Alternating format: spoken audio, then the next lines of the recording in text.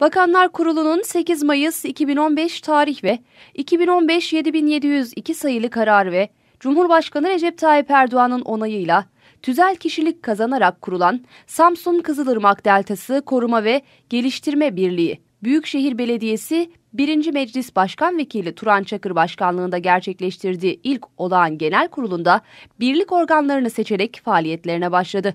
Dünyanın en önemli sulak alanlarından birisi kabul edilen ve uluslararası Ramsar alanı da olan Kızılırmak Deltası artık profesyonel bir yönetim anlayışıyla dünyaya açılacak. Birlik kuruluş amacı ise Kızılırmak Deltası'nda sosyoekonomik denge, ekolojik denge ve biyolojik çeşitliliğin korunması ve sürdürülebilirliğin sağlanması şeklinde açıklandı.